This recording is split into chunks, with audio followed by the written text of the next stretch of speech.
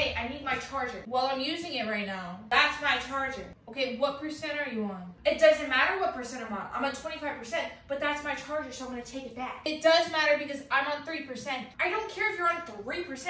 That's my charger. I bought that charger. You're on 25%. I'm on 3, so I get the charger. I'm gonna use my charger when I wanna use my charger. But my phone is lower. I'm taking the charger.